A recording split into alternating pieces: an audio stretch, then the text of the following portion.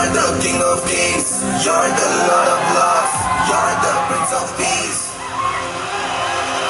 You're Emmanuel, supernatural, savior of the world. I will sing your praise.